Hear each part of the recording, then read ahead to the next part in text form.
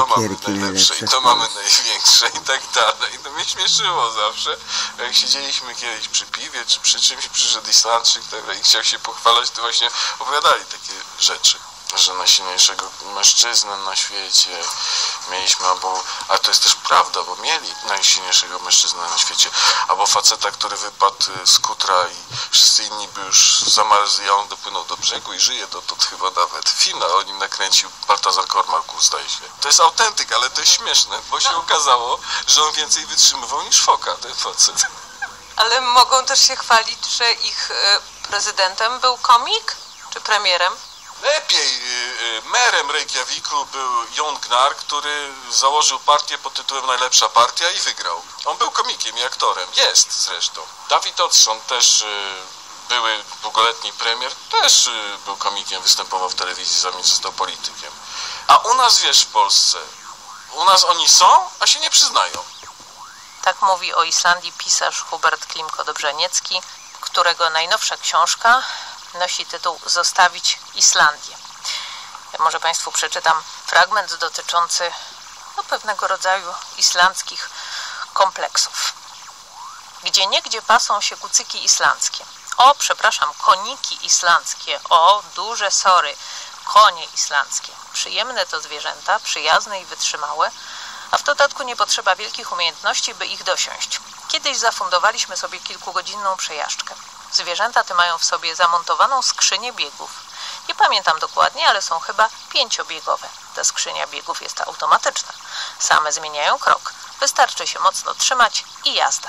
A co się tyczy nazewnictwa, to trzeba bardzo uważać.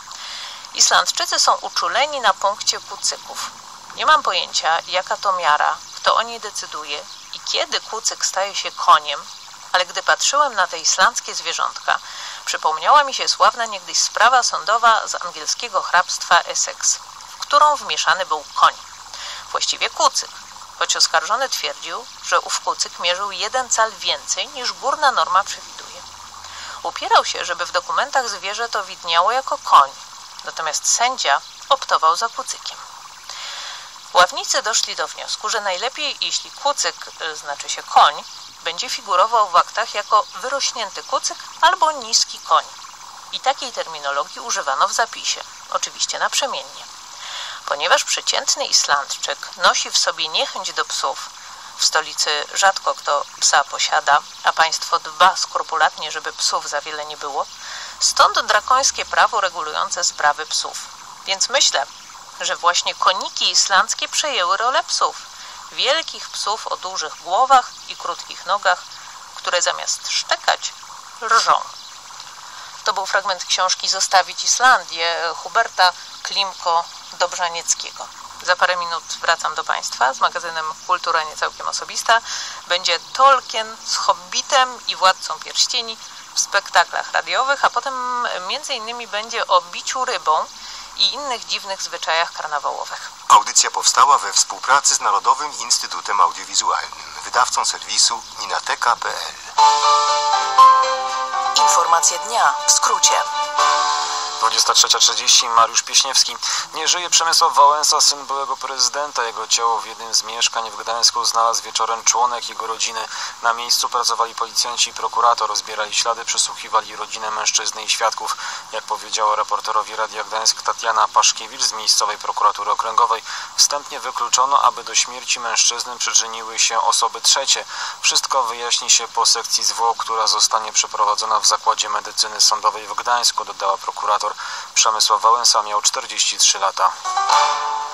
Palestyński zamachowiec, który dziś wjechał ciężarówką w grupę izraelskich żołnierzy, zabił cztery osoby i ranił 15, był salafitą, informuje AP, powołując się na jego krewnych i sąsiadów. Zidentyfikowano go jako 28-letniego Fadiego Kunbara. Według premiera Izraela Benjamina Netanyahu palestyński zamachowiec był prawdopodobnie sympatykiem państwa islamskiego. Netanyahu oświadczył, że widzi możliwe podobieństwa między zamachem w Jerozolimie a zamachami terrorystycznymi w Europie. Wiemy, że mamy tu do, do czynienia z serią zamachów i jest całkiem możliwe, że są one ze sobą powiązane. Najpierw Francja i Berlin, a teraz Jerozolima, powiedział premier. Nad wieloma częściami kraju zalega smog, nie odpuszcza też krakowianom. Władze miasta wprowadzają darmową komunikację dla kierowców. Każdy, kto stawi, zostawi samochód w poniedziałek w garażu, będzie mógł za darmo jeździć tramwajami i autobusami, mówi Witold Śmiałek, pełnomocnik prezydenta Krakowa do spraw poprawy jakości powietrza. Jeżeli mamy dowód rejestracyjny, podkreślam, to musi być oryginał. Nie może być to ksero, tak jak się zdarzało w poprzednich sytuacjach. Oryginał dowodu rejestracyjnego i może osoba, która ten dowód rejestracyjny posiada, może zabrać ze sobą tylu pasażerów, ile miejsc jest wpisanych w dowodzie rejestracyjnym danego pojazdu. Darmowa komunikacja będzie obowiązywała już za pół godziny przez 24 godziny. W Warszawie również w poniedziałek komunikacja miejska będzie darmowa. Pokonana w wyborach prezydenckich w USA Hillary Clinton nie będzie już kandydowała w życiu w żadnych wyborach, zapewniła bliska jej osoba. Zajmie się w najbliższych latach pomocą dla dzieci i rodzin, w którą angażowała się przez całe życie, powiedziała Nira Tenden, która jest prezeską Ośrodka Postępowej Refleksji Centrum Amerykańskiego Postępu i nieformalną jego doradczynią. Nie będzie już nigdy startowała w wyborach, zapewniła pani Tenden w rozmowie z CNN. Osoba ta zareagowała na artykuł, który ukazał się na łamach New York Timesa. Jego autor sugerował, że Hillary Clinton wystartuje w wyborach na burmistrza Nowego Jorku. Polskie Radio 24. Słowem wszystko. Wiadomości z życia Kościoła. Papież Franciszek zaapelował do Polaków, by przypominali wszystkim, że Jezus jest obecny w świecie. Zrobił to podczas pierwszej w tym roku audiencji środowej w Watykanie. W głównej katechezie mówił, że także łzy mogą zrodzić nadzieję i nowe życie. Na specjalnej audiencji Ojciec Święty przyjął również w czwartek mieszkańców środkowych Włoch dotkniętych tragicznym trzęsieniem ziemi. Pozdrawiając Polaków przybyłych na audiencję środową do Watykanu, papież przypomniał o uroczystości objawienia pańskiego i przechodzących ulicami wielu miast orszakach Trzech Króli. Uczestnicząc w nich i kierując do spotkanych ludzi pozdrowienie świętego Franciszka, pokój i dobro, przypominajcie wszystkim, że Jezus narodzony w Betlejem jest obecny w świecie, jest blisko nas, przynosi nam zbawienie, pragnie zamieszkać w sercu każdego człowieka. Rzym, Beata Zajączkowska, Radio Watykańskie. W uroczystość Trzech Króli mali misjonarze z papieskiego dzieła misyjnego świętowali Misyjny Dzień Dzieci. To ich patronalne święto obchodzone w katolickich parafiach na całym świecie. Światowy Dzień Misyjnych Dzieci ustanowił w roku 1950 papież Pius XII. W Polsce po raz pierwszy dzieci świętowały go w 1984 roku. Misyjny Dzień Dzieci wiąże się również z akcją kolędników misyjnych, która w większości polskich parafii tego dnia miała swoje uroczyste zakończenie i podsumowanie. Kolędnicy misyjni mogą jednak odwiedzić nasze domy jeszcze po 6 stycznia. Hasło tegorocznej edycji kolędników misyjnych Zauważ niewidocznych zwraca uwagę na problem tzw. dzieci niewidocznych w Tajlandii. Kolędnicy misyjni zaproszeni są do udziału w konkursie Moje kolędowanie misyjne, mówi Anna Sobiech, sekretarz krajowy papieskiego dzieła misyjnego dzieci. Zachęcamy gorąco kolędników misyjnych, aby przygotowali relacje z kolędowania. To może być w formie albumu z fotografiami i z fajnym, ciekawym opisem, e, może być w formie pokazu multimedialnego. Forma jest dowolna, e, natomiast e, liczy się pomysł na przygotowanie takiej relacji i żeby był jak najbardziej szczegółowy i pełen świadectw z kolędowania. Od pierwszej chwili, od kiedy usłyszeli o tym, że będą kolędować, przez dobór ról do kolędowania, przygotowanie strojów, skarbonki, gwiazdy, a także e, zrelacjonowanie całego kolędowania, kogo odwiedzili, jakie były ich przygody, co przeżyli, jakie były ich uczucia, które im towarzyszyły podczas kolędowania i oczywiście zakończenie kolędowania. Instytut Statystyki Kościoła Katolickiego zaprezentował najnowszy raport o religijności Polaków. Pod hasłem Znaki czasu Kościoła w Polsce Anno Domini 2017 w Sekretariacie Konferencji Episkopatu Polski podano dane dotyczące m.in. praktyk religijnych oraz zaangażowania świeckich w życie parafii. Jak wynika z badań, blisko 40% Polaków uczestniczyło w 2015 roku w mszach świętych, a 17% przystępowało do Komunii Świętej. To nieco więcej niż rok wcześniej. Mówią ksiądz Wojciech Sadłoń, dyrektor Instytutu oraz dr Sławomir Mandes, socjolog z Uniwersytetu Warszawskiego. Kościół w Polsce dysponuje dość silnymi instytucjami. Wydaje się, że dość też stabilną pozycją społeczną. Można również powiedzieć o powszechności katolicyzmu w Polsce, czyli że duszpasterstwo Kościoła trafia do mas, jest masowe, jest powszechne. Chodzi przede wszystkim o sakramenty, sakramenty też małżeństwa, o pierwszą komunię, bierzmowanie. Za tym takim stabilnym obrazem kryje się jednak duże niebezpieczeństwo spłycenia polskiego katolicyzmu do wymiaru kulturowego, spłycenia go do wymiaru tylko instytucjonalnego. I chodzi o komunikację przede wszystkim właśnie tego wymiaru duchowego, religijnego. Takim podstawowym wyzwaniem jest rozwijanie tego zaangażowania społecznego Polaków. Polska religijność ewoluuje, rośnie rola świeckich, ale co też ciekawe, widać wzrost aktywności religijnej osób świeckich w ruchach religijnych. Mamy w Polsce bardzo, bardzo wiele ruchów religijnych działających przy parafiach, ale w dużej mierze niezależnie od parafii i w działalność tych ruchów jest zaangażowanych bardzo dużo ludzi. Do końca nie wiemy ile, bo to nie są ruchy, do których się człowiek zapisuje, dostaje legitymację i prawda mamy listę ale pewno są to liczby idące w milionach. Wyzwanie, jakie staje przed nami, to nie pozwolenie, aby to zaangażowanie spłuciło się tylko, żeby ono wynikało jednoznacznie po prostu z miłości chrześcijańskiej. Serwis przygotował Przemysław Goławski, a przedstawił Olaf Warzeński.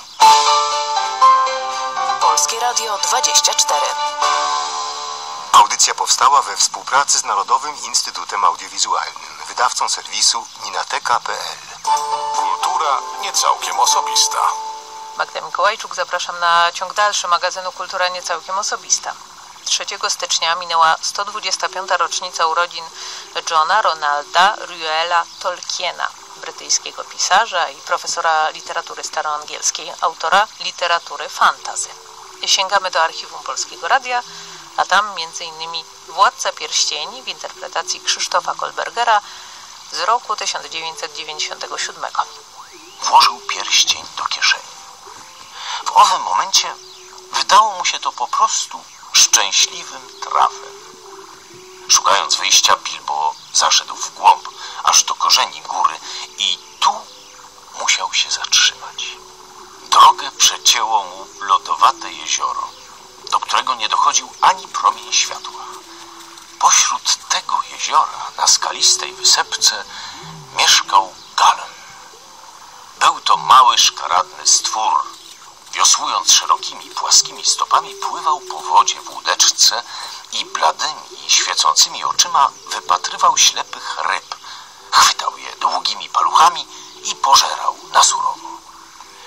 Żarł zresztą wszelkie żywe istoty, nawet orków, jeśli zdołał którego złapać i udusić bez walki. Golem miał tajemniczy skarb, zdobyty przed wiekami, gdy jeszcze żył na jasnym świecie. Złoty pierścień, który czynił swego właściciela niewidzialnym. Był to jedyny przedmiot miłości Galema, jego skarb. Galem przemawiał do niego nawet wówczas, gdy go nie miał przy sobie. Trzymał bowiem pierścień w bezpiecznej skrytce, skalnej szparze na swojej wysepce, a kładł tylko wybierając się na łowy albo na zwiady wśród orków w ich podziemiu. Byłby pewnie od razu napadł na Bilba, gdyby w chwili spotkania z nim miał pierścień przy sobie. Nie miał go jednak, a hobbit ściskał w garści nóż, zrobiony przez elfów służący mu za miecz. Żeby zyskać na czasie, Galem wezwał Bilba na turniej zagadek, oznajmiając, że go zabije i zje, jeśli hobbit nie odpowie na któreś jego pytanie. Jeśli natomiast wygra Bilbo, spełni jego życzenie i wyprowadzi go z lochów na świat. Bilbo, zabłąkany bez nadziei w ciemnościach, nie mogąc ani iść naprzód, ani się wycofać, przyjął to wyzwanie. Zadali sobie nawzajem mnóstwo zagadek. W końcu Bilbo zwyciężył, co zresztą zawdzięczał bardziej szczęściu, tak się zdawało, niż rozumowi.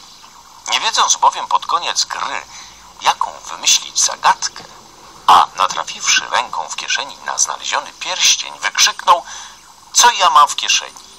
Na to oczywiście Galem nie znalazł odpowiedzi, chociaż zażądał prawa do trzykrotnej próby. Rzeczoznawcy różnią się co prawda w opinii, czy ostatnie pytanie Bilba można uznać za zagadkę, zgodnie z ustalonymi przepisami gry. Wszyscy wszakże zgadzają się, że Galem, skoro nie zaprotestował od razu i trzykroć próbował odpowiedzieć, był obowiązany spełnić obietnicę. Bilbo nalegał, żeby stwór dotrzymał danego słowa. Przyszło mu bowiem na myśl, że tak oślizły gad może okazać się przeniewiercą. Jakkolwiek obietnica tego rodzaju uważana była z dawna za świętość i tylko najprzewrotniejsze istoty śmiałyby ją złamać.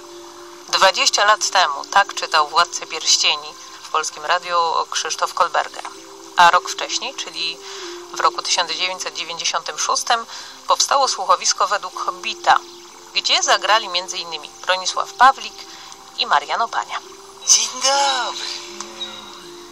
Co chcesz przez to powiedzieć?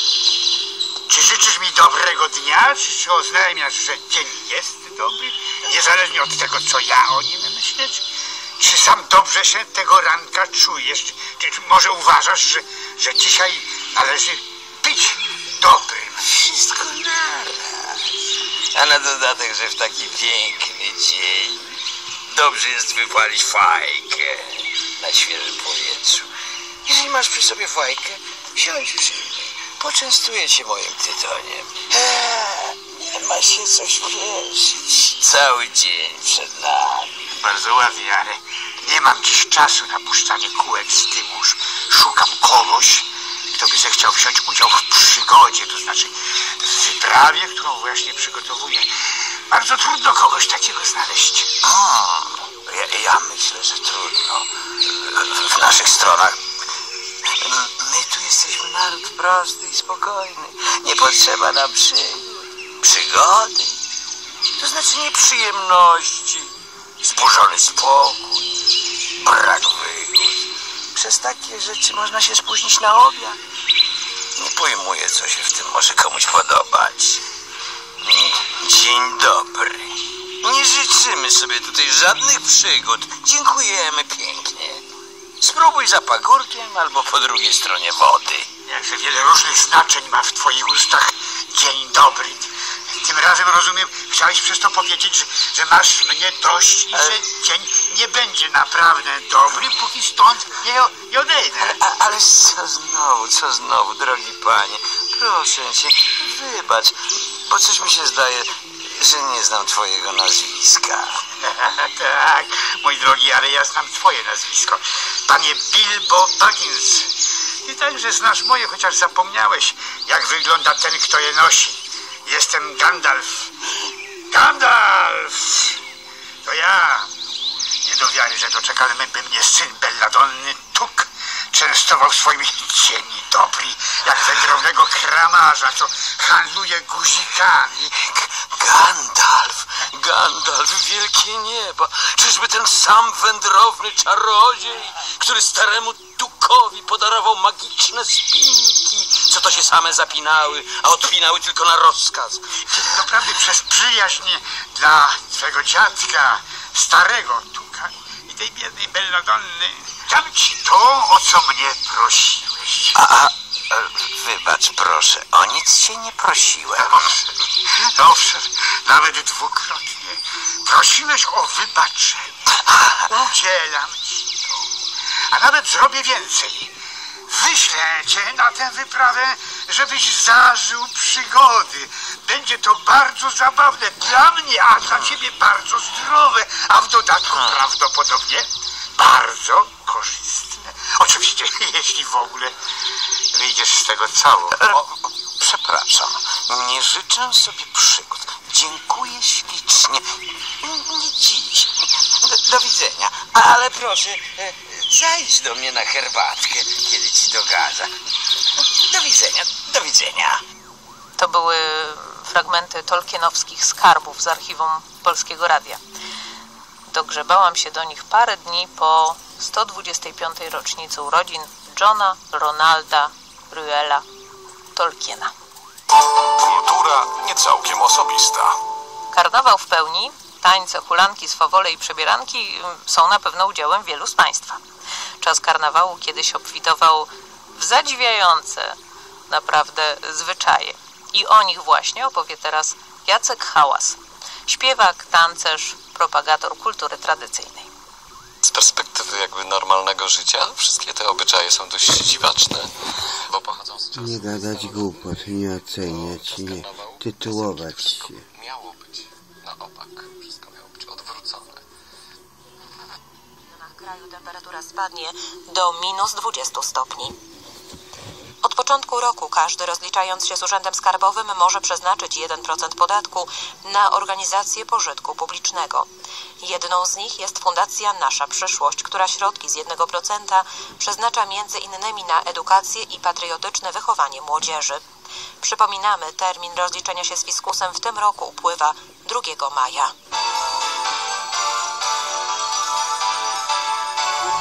W Radiu Maryja informacje z zagranicy. Brytyjska premier Theresa May potwierdziła, że w marcu bieżącego roku rozpocznie procedurę wyjścia Wielkiej Brytanii z Unii Europejskiej. Wyborcy zagłosowali za opuszczeniem wspólnoty i za zmianą. W 2017 roku zaczniemy to wprowadzać w życie, powiedziała premier. May na antenie jednej ze stacji telewizyjnych zapowiedziała, że w kolejnych tygodniach przedstawi szerzej plan negocjacyjny swojego rządu przed marcowym formalnym rozpoczęciem negocjacji. Największe kluby parlamentarne CDU, CSU i SPD preferują 24 września jako najdogodniejszy termin wyborów do Bundestagu. Welt am Sonntag podał, że oba ugrupowania zaproponowały taki termin w piśmie do szefa MSW. Ostateczna decyzja należy do prezydenta Niemiec, który ogłasza termin wyborów na wniosek rządu. O stanowisko kanclerza ubiegać się będzie po raz kolejny Angela Merkel. SPD ogłosi nazwisko swego kandydata 29 stycznia. Największe szanse ma szef partii Zigmar Gabriel. Palestyński zamachowiec, który wjechał ciężarówką w grupę izraelskich żołnierzy w Jerozolimie, był prawdopodobnie sympatykiem tzw. państwa islamskiego. W zamachu zginęły cztery osoby, rannych jest 15. Napastnik został zastrzelony. W ostatnim czasie na izraelskich ulicach rzadziej dochodziło do ataków, jakich od września 2015 roku niemal codziennie dokonywali Palestyńczycy, między innymi przy użyciu noży czy pojazdów. Amerykańska prokuratura wszczęła postępowanie wobec domniemanego sprawcy strzelaniny na lotnisku na Florydzie, w której pięć osób zginęło, a osiem zostało rannych. 26-latkowi może grozić nawet kara śmierci. Śledczy poinformowali, że motywy czynu sprawcy pozostają nieznane. Nie wykluczono, że mógł to być akt terroryzmu. Jeszcze w tym roku w Pekinie powołane zostaną nowe siły policji, których zadaniem będzie kontrola wdrażania działań do walki z zanieczyszczeniem powietrza. Policjanci będą karać osoby korzystające z grilli na świeżym powietrzu, a także palące śmieci, drewno i inne rodzaje biomasy. Zimą dziesiątki chińskich miast znajdują się pod grubą warstwą smogu, a poziom zanieczyszczenia często przekracza normy ustalone przez Światową Organizację Zdrowia. Prezydent Barack Obama przyznał, że nie docenił wpływu rosyjskich działań hakerskich i kampanii dezinformacyjnej na wynik wyborczy demokratów. Wypowiedział się dwa dni po ogłoszeniu raportu wywiadu Stanów Zjednoczonych w tej sprawie. Według wywiadu początkowym celem cyberataków było zakłócenie demokratycznego procesu wyborczego. Około 300 żołnierzy piechoty morskiej Stanów Zjednoczonych zostanie wysłanych do prowincji Helmand w Afganistanie, by wspierać walczące z talibami afgańskie siły bezpieczeństwa w zakresie wywiadu i logistyki. To pierwsza operacja Marines w tej prowincji na południu Afganistanu od czasu, gdy wycofali się stamtąd w 2014 roku, kiedy Stany Zjednoczone ogłosiły zakończenie misji bojowej.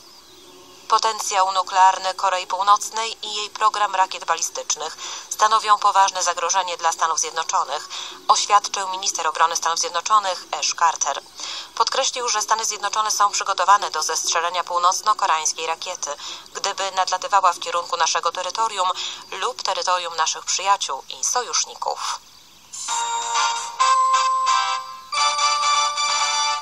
Na koniec jeszcze informacja ze świata sportu. Prezydent Andrzej Duda planuje wspólnie z prezydentem Słowenii Borutem Pachorem zamknąć tegoroczny Puchar Świata w skokach narciarskich w marcu w Planicy. Minister Krzysztof Szczerski powiedział, że prezydent liczy, iż wręczy puchar zwycięzcy Kamilowi Stochowi. 38 sezon Pucharu Świata w skokach narciarskich rozpoczął się 25 listopada ubiegłego roku w fińskim Kusamo, a zakończy 26 marca w słoweńskiej Planicy. Wysłuchali Państwo ważniejszych wydarzeń dnia z kraju i ze świata w skrócie. Dziękuję za uwagę.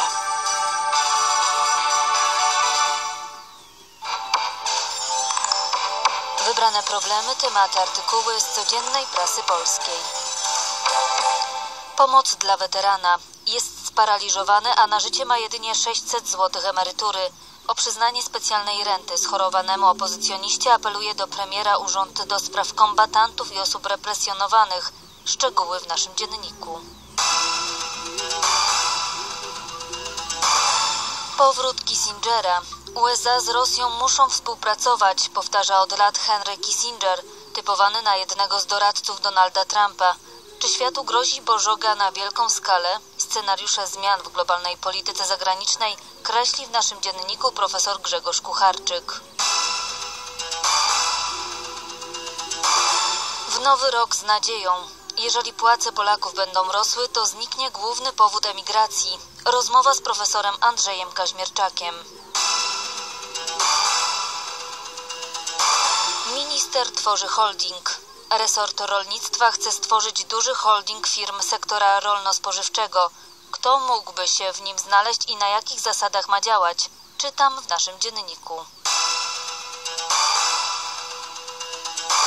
Warzywa w roli głównej. Siostra Teresa podaje przykłady sycących potraw z warzywami.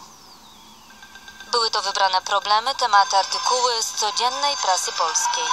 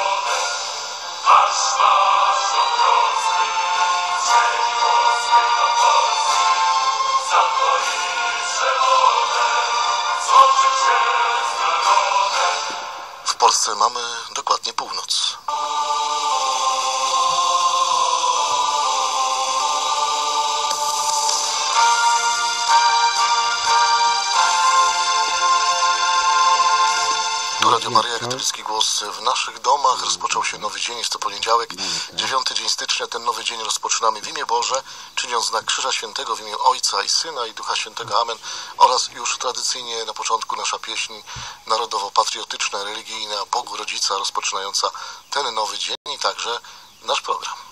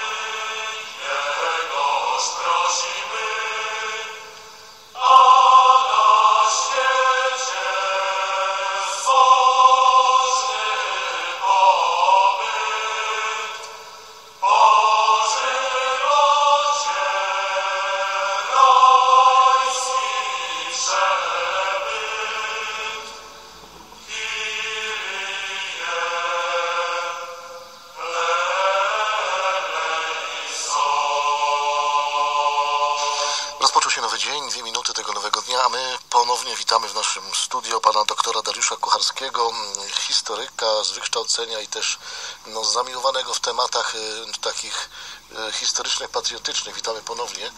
Panie doktorze, cieszymy się. Szczęść Boże. Z Pana obecności. Pozdrawiamy też żony, bo słyszałem, że słucha z natężeniem, prawda, i, i, i, i recenzuje trochę te rozmowy, więc... y, Ktoś musi recenzować w domu. No właśnie. Więc zapraszamy już naszych słuchaczy pewnie za moment do, do dalej kontynuowania tej ciekawej rozmowy, żebyśmy weszli w ten właśnie klimat jeszcze tego XX wieku, tak bogatego wydarzenia historyczne i żeby właśnie może Państwo tak sami chcieli nam tutaj podpowiadać, jakie wydarzenia uważają za jasne, chwalebne, prawda, a jak za błogosławione w jakimś sensie, a jakie za ciemne, trudne, y, bolesne, no, no to już przymiotniki niech wystarczą. W każdym razie możemy powiedzieć, no były to ciekawe czasy, w których żyliśmy. Tak, ja się też cieszę, że mogłem przynajmniej 20 parę lat zaczerpnąć tego wieku, I, bo no, był on, można powiedzieć, dla nas jednak łaskawszy niż dla dziadków naszych czy pradziadków, bo chodzi mi o początek, prawda, odzyskiwanie niepodległości, dwudziestolecie międzywojenne, czas wojny, no i to po wojnie komunistyczne. Tylko bym zapytał, y, panie doktorze, jedno pytanie. E, Teraz są te książki sławne, prawda? Resortowe dzieci, resortowe dzieci politycy, resortowe dzieci dziennikarze i tak dalej. No właśnie jak to jest? No może to jest takie naiwne pytanie, no ale y, dobre cechy są też z ojca na syna, prawda? Przechodzą, ale okazuje się, że złe także ciągotki pewne, no i pewne układy. Ja sam się zdziwiłem, że te, te życiorysy y, przechodzą na 3-4 pokolenia. No to Czy jest pan się temu przyglądał bliżej? Tak. Znaczy jest to normalne, jest to jakby Jest naturalne, normalne, tak. że sposób myślenia e, rodziców, dziadków w pewnej ciągłości pokoleniowej no, przechodzi Ja dalej. To też nie, nie zawsze można ten znak równości postawić, natomiast e, przy środowiskach komunistycznych e, trzeba powiedzieć, że było troszeczkę inaczej. To były środowiska, tak jak powiedziałem o okresie międzywojennym, tutaj troszeczkę napomknąłem, że to były środowiska, e, których osoby związane z komunistami albo będący komunistami, tak się określający i przebywający przebywający w Związku Sowieckim bardzo często na szkoleniach, to były osoby, które były etatowymi agentami służb sowieckich, różnego typu, czy wojskowych, czy cywilnych. I funkcjonowali w okresie międzywojennym najczęściej w Polsce, gdy ulegali spaleniu, mówimy o polskich komunistach, spaleniu wyjeżdżali do Związku Sowieckiego lub niektórzy jeszcze dalej wyjeżdżali na przykład na wojnę e, domową do Hiszpanii. E, takich przypadków jest dużo. Czeski Walter, tak. Tak, e, Mendel Koso i później znany jako generał Wacław Komar. To są tego przypadki, ale wcześniej był mordercą e, polskich obywateli, których mordował z ramienia i polecenia władz sowieckich w Polsce i musiał uciekać, bo był poszukiwany listem gończym. To są takie dokładne przy, przypadki.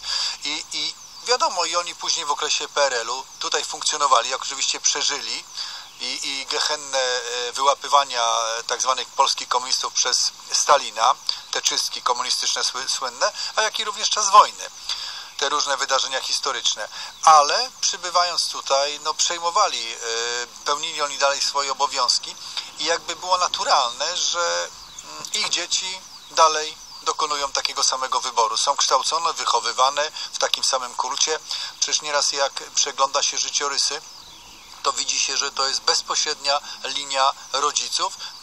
Niejednokrotnie też sposób kształcenia e, wyjeżdżali na studia do Moskwy. E, w czasach sowieckich wyjazd na studia do Moskwy był raczej jednokierunkowy. Tak? Tam chodziło też o in, in, indoktrynację intelektualną. Nie wyjeżdżał z miłości do kraju tak, bo prawda? To też były zamknięte wyjazdy, nie każdy mógł wyjechać. To, to był inny czynnik, czym innym to było podyktowane. To nie były wyjazdy jak w okresie rozbiorów, w okresie carskim, gdzie też ochrana funkcjonowała i też wyłapywała agentów, ale mimo wszystko to nie można porównywać w ten sposób.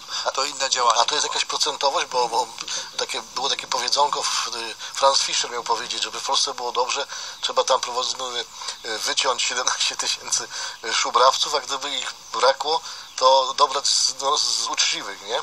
Ale, ale to oczywiście teraz się śmieję, bo takie miał powiedzonka, nie wiem, czy to są prawdziwe, czy tak mu przypisywano, w każdym razie, czy to jakaś jest taka średnia społeczna? Czy, znaczy, czy prostu... nie ma tu średniej społecznej. Tu jest stopień nasycenia ze względu na zaangażowanie e, Sowietów e, w inwigilację danego, danego państwa. W Polsce było bardzo duże zainteresowanie Polską w okresie międzywojennym przez Sowiety, dlatego tutaj agentów było dosyć duże nasycenie.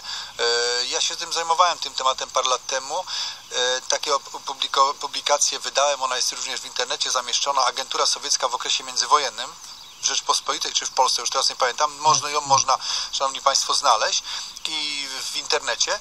Natomiast ja tam bodajże podałem około 15 tysięcy agentów. Yy, I to jest chyba właściwa liczba. Agentów, osób współpracujących ze służbą, to były osoby też na etatach, służb sowieckich miesiąc miesiąc otrzymujący pensje. Ja tam w tym artykule również podaję poszczególne pensje niektórych agentów, e, bodajże e, jeśli mnie pamięć nie myli, Bolesław Bierut, agent już połowa lat dwudziestych, pensja w latach 30. około 400 chyba złotych, jeśli, jeśli mnie pamięć teraz nie myli.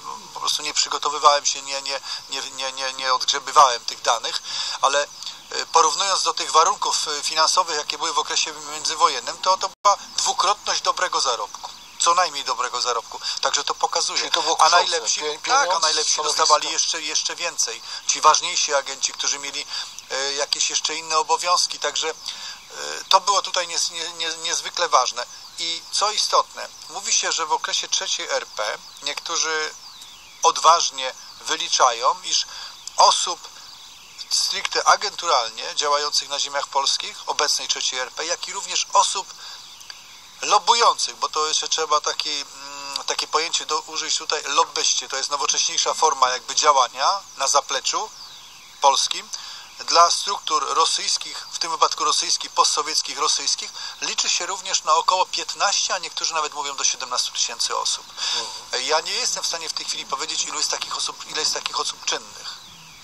E, być może coraz mniej. Może 9, może 11, może 5 Jest, Mówi się, że no, z komunizmu się można wyleczyć, ale na przykład z, z działania agenturalnego dawnych służb, na przykład wojskowych, nigdy się nie wychodzi. No w okresie międzywojennym tak, też był problem z agenturą, y, współpracą z dawnymi, z dawnymi służbami państw zaborczych. Oni właśnie byli przejmowani, tak samo agenci ochrany byli przejmowani przez służby sowieckie. E, przecież mieli całe pakiety akcji, akcji tak, dokumenty Nawet, nawet, nawet jakieś pomówienia były na Piłsudskiego, prawda, że gdzieś tam Tak, Tak, ale, ale e, musieli sobie radzić z tym. Bardzo często e, trzeba było pisać oświadczenia. Czy się ze służbami pracowało, czy nie. Także e, z tym, że starano się to wyjaśniać, tak? I przede wszystkim nie robiono takiego larum nie wołano, jak w tej chwili to się dzieje, gdzie w instytucjach pewnych powinno być to wykonywane, tak? Czy, czy była współpraca, czy nie. Dzisiaj się tego nie czyni. Zaczynamy stan zero, robimy taką zwaną grubą kreskę, ja, uczuleniową grubą kreskę ja to nazywam, bo to się nie sprawdza, bo wiemy, że przenikają pewne osoby, które nie powinny być, a to jest też dużym zagrożeniem dla zwykłego obywatela, który pracuje w takiej instytucji. Myśląc, że dobrze wykonuje pewne działania, czynności, one wychodzą na jaw i taka osoba też może być fizycznie zagrożona.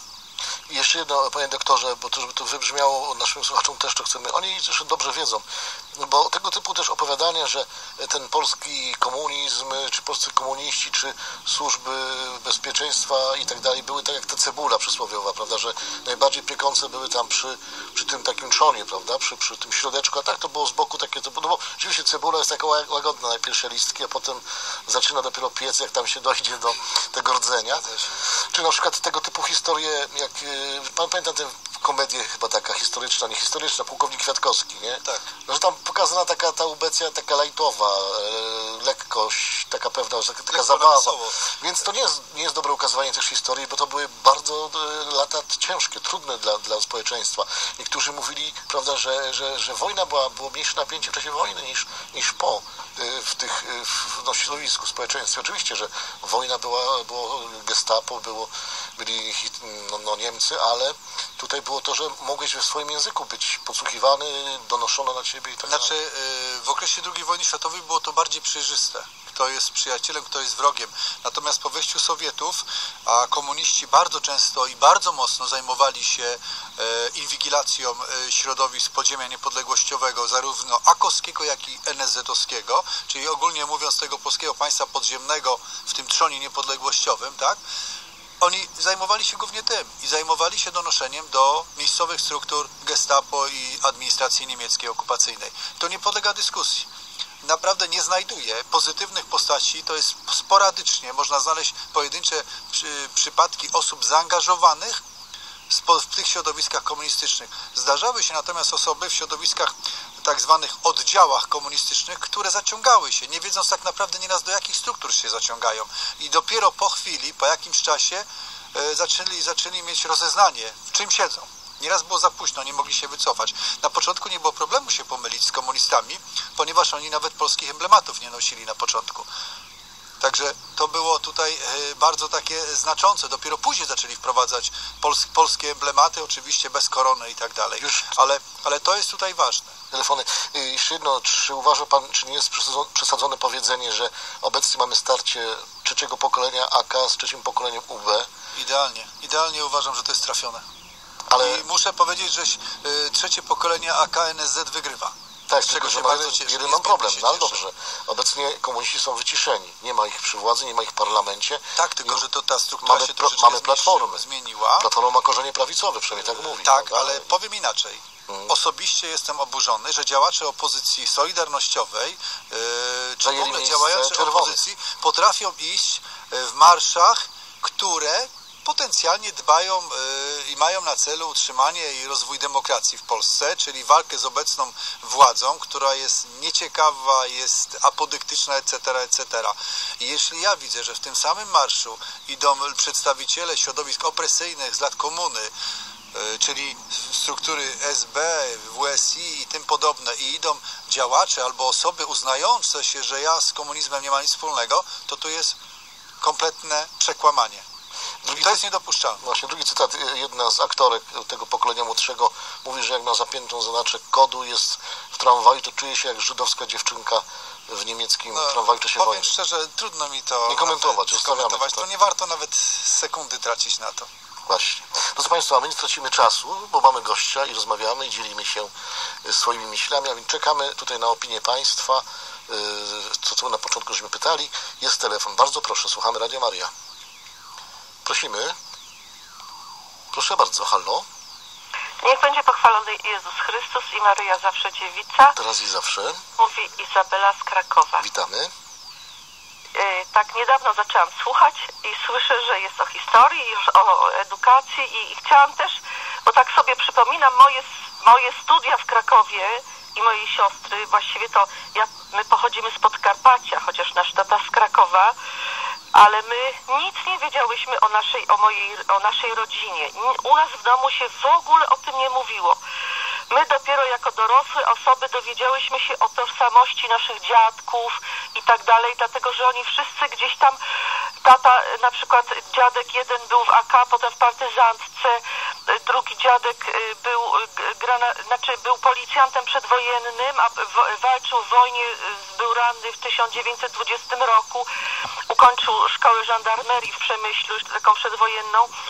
Mój tata się urodził na Wołyniu, bo, bo, bo jego y, ojciec był oficerem w drugim pułku artylerii ciężkiej. Bodajże, chyba się nie pomyliłam.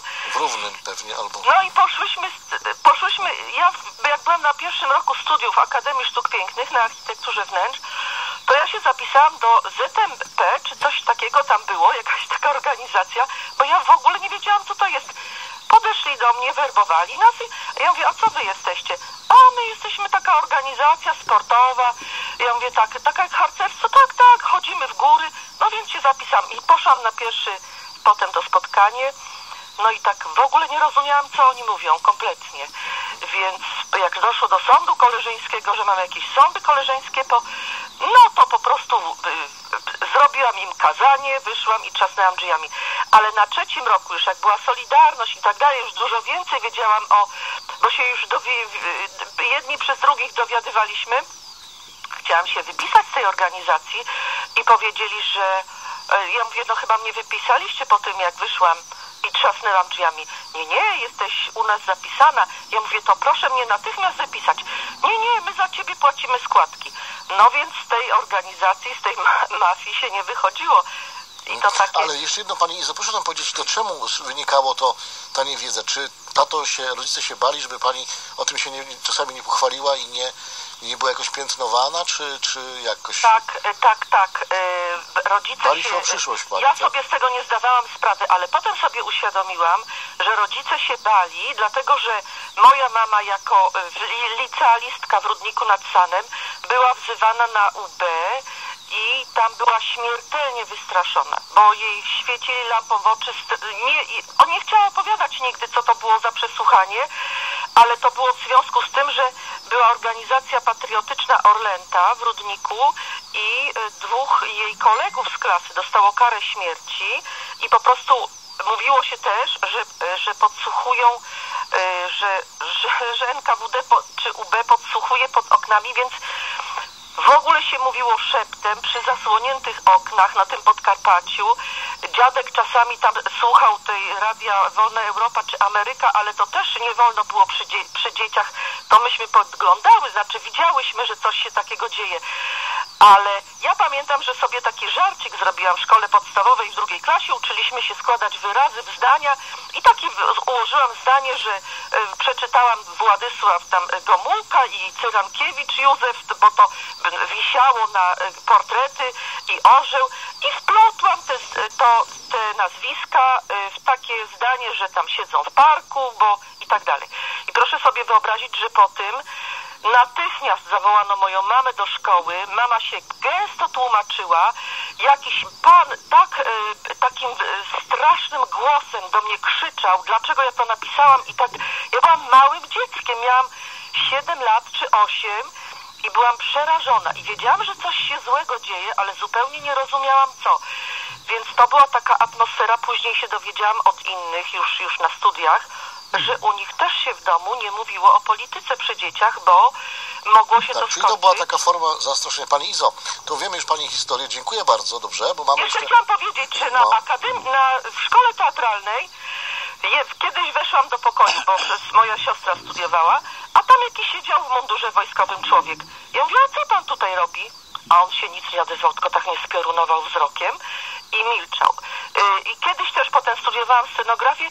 To samo było na w Katowicach, na reżyserii, kiedy robiliśmy takie filmy tam szkolne. Ja robiłam plastycz, y, scenografią się zajmowałam i zabrakło nam taśmy i wysyłali mnie tak od Anasza do Kajfasza, przez wszystkie szczeble się przeszłam i najwyżej weszłam do takiego gabinetu, a tam siedział ktoś taki jak generał z orderami, taki z taką czerwoną twarzą, z takimi małymi oczkami i ja mówię, że po taśmę, żeby nam przy, przydzielili tą taśmę i tak dalej, i tak dalej. A on mówi tak, dokument, podanie, podpisał, nic się nie odezwał i podpisał nam te brakujące. I ja wtedy się zorientowałam, że chyba na każdej uczelni siedział taki człowiek w mundurze i nie wiem, co oni tam robili.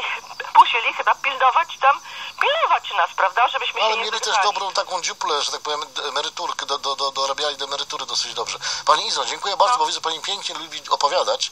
To byśmy tu jeszcze mogli pół bardzo. godziny mówić, natomiast y, skorzystamy, że tutaj jeszcze, będą jeszcze inne telefony, Panie doktorze, tak? Rzeczywiście bardzo często słyszałem, zresztą też ze swoich historii swojej rodziny, wiem, że e, w rodzinach o przekazach e, z nieodległej przeszłości, czyli II wojny światowej, sytuacjach powojennych, bardzo często się nie mówiło. Nie dlatego, że ona była wstydliwa, tylko ona mogła zaszkodzić najbliższym.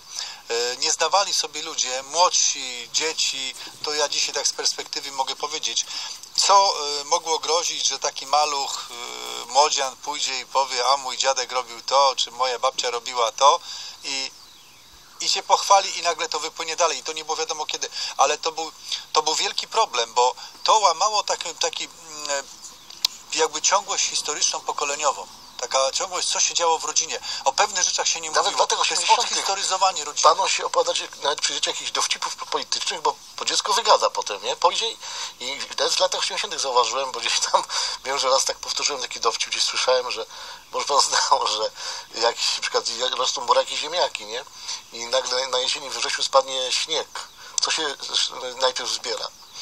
No, aktyw, nie? że aktyw pasyjny. I nawet taki, taki, takie było niebezpieczne opowiadanie. Teraz mówimy tak z perspektywy, że to Znaczy był... dzisiaj możemy się z A tego jeszcze w latach tak? 60. to było nie, też jeszcze gorzej, im bardziej do tyłu, prawda? 50., No tak, mówię, 60. Dzisiaj możemy się z tego trochę pouśmiechać. Wielu ludzi to pewnie nie uwierzyłoby, tak, że, że tak było, bo u mnie w domu się nic nie mówiło. Załóżmy, ktoś odpowie, tak? No. Nic się nie mówiło, to znaczy, że nie było źle. A wychodzi jakiś pułkownik, gada bzdury, nikt nie gwizdże. Niech pan też popatrzy, panie doktorze, ciekawe na tym takim wiecu. No tak niestety się działo, to jakoś tak było zakodowane, że to jest, kulturalny. ale z drugiej strony ludzie mieli zakodowane, że jest to negatywne, że jest to niewłaściwa struktura, która tutaj panuje w Polsce. I teraz pytanie, na ile niektórzy mieli tego, tego samozaparcia i chęci trzymania się tego, tych wartości, o których mówiłem w telewizji, w tej części radiowej wcześniejszej, trzymania się tego kanonu, do którego byli wszyscy wychowywani wcześniej, a ilu chciało po prostu iść do przodu, mieć więcej i dać się skusić na mieszkanie, bo przecież oni nie dawali pałacy. Oni dawali klitkę, mieszkanie jedno, dwupokojowe, jeszcze najczęściej do użytkowania e, na zasadzie lokatorskiej, także nie własnościowe nawet, także no takie kupowanie No, żeby też rodzin nie było za dużych, prawda? To też wiedziano, że duże rodziny przynoszą in, większe wartości, prawda? Jeśli chodzi o tak, inne, przekaz. inne tak. stosunki się wytwarzają Tak, w dużych tak. rodzinach. To... Y, Czyli jakiś taki osied- osiedlach niż blok był taki zawsze dobrym miejscem na, na, na, na No w ogóle stymulację. industrializacja społeczeństwa miała na celu przecież w założeniu wyrwanie e, społeczeństwa z korzeni. Nie powiedzieliśmy, proszę Państwa, o jednej niezwykle ważnej rzeczy. Co się stało? Polaków przerzucono z kresów wschodnich, zapakowano i powiedziano albo zgadzacie się na zachód jechać gdzieś tam, albo wyjeżdżacie na wschód. Bardzo często taka alternatywa była. Ci najodważniejsi zostali. Część ucierpiała, bo niestety została zesłana na, na głęboką Syberię po II wojnie światowej z tych kresowiaków i potem wróciła. Po iluś latach wróciła na ziemię kresowe do swoich rodzin, dlatego mamy tych Polaków tam dalej. Im się wielka chwała za to należy, za to, że wytrzymali w polskości tam żyć, bo przecież mogli się do pewnego momentu zapakować. Sowieci ich bardzo chętnie wyrzucali. Ale jaki był cel tak naprawdę ukryty tego? Wyciągnąć ich stamtąd i jednocześnie tank tak indoktrynować, wprowadzić w nowe otoczenie, żeby nie czuli się pewnie, a jednocześnie mieć nad nich pełną pieczę przez swoich ludzi, bo zawsze pojawiały się inne jednostki zazwyczaj, które przebywały z nimi, miesza, mieszało się to środowisko w minimalnym stopniu, bo jak wiemy, jeden, dwóch donosicieli wystarczy na jakąś większą społeczność i zaczyna się robić problem.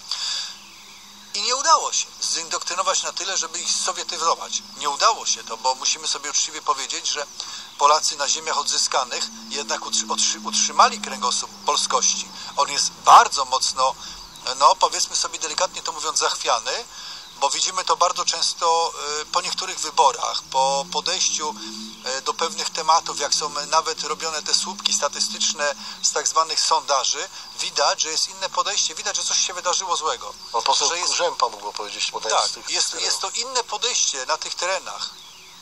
Tak, że jedna, jednak coś się stało. I tutaj trzeba wyraźnie powiedzieć, dlaczego się to nie, nie, nic takiego się nie stało, co Sowieci chcieli zrobić do końca, że sowietyzowali ich, zrobili z nich sowieckich Polaków.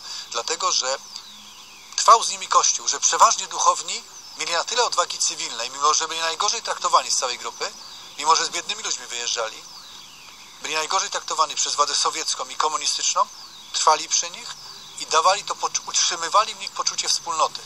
A przy tych księżach pojawiali się bardzo często jeden, dwóch nauczycieli, którzy gdzieś się przemycali, przedwojennych zaznaczam. Inna struktura tych ludzi była, intelektualna, inna, inna umysłowość. I dlatego udało się utrzymać do takiego stanu, jak widzimy. No ale no, teraz pozo- pozostała praca intelektualna i edukacyjna. Nie ma wyjścia. Jest telefon, bardzo proszę, słuchamy. Niech będzie pochwalony Jezus Chrystus i Maria Zawsze Dziewica. Teraz i zawsze. Mówi Aleksandr z Krakowa. Serdecznie pozdrawiam ojca Janusza i pana doktora. Witamy, witamy. Z wielką uwagą słucham już audycję poprzez e, telewizję Trwam i teraz e, przyłączyłem się na radio. E, Próbowałem przedtem się dostać na antenę, ale nie udało się, ale jednak szczęście teraz dopisało. Panie doktorze, co chcę zasygnalizować w związku z agenturą i z tym lobbingowaniem? Ja mieszkam w Krakowie i jestem mieszkańcem takim, który co roku na zimę musi zakupić węgiel, ponieważ mam, mieszkam w domku i muszę opalać, żeby ciepło mieć, prawda? Proszę zwrócić uwagę, od kilku lat nie ma żadnego sygnału, bo nieraz przedtem e, w telewizyjnej reklamie e, przewinął się jakiś tam reklama, że e, składy węgla